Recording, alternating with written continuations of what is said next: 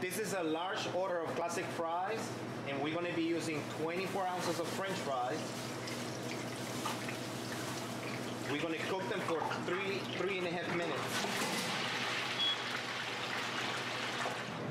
Drain french fries, transfer them into a bowl, and immediately season them with seasoning salt.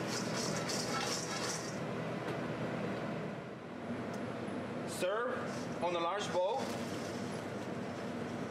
with two two ounce side of ketchup.